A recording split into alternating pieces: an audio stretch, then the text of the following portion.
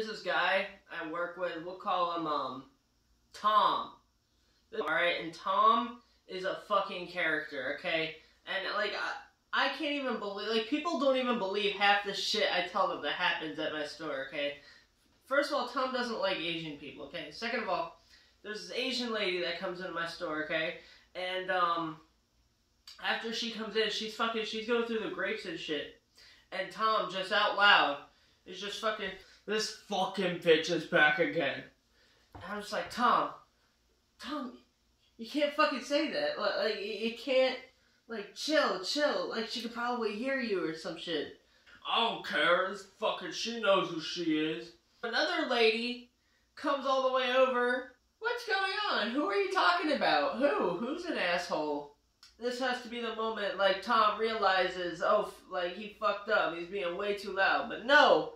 He doubles down. Fuck it. He triples down. He looks at the customer and he points. He goes, That bitch right over there by the fucking grapes. But then I look and this bitch is literally going from fucking grape to grape, eating, picking them out of the fucking bag and eating them. And she she turns.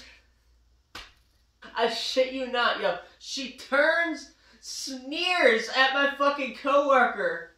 And my coworker looks at her and goes, Yeah, I'm fucking talking about you. Stop eating the fucking grapes, dirty bitch.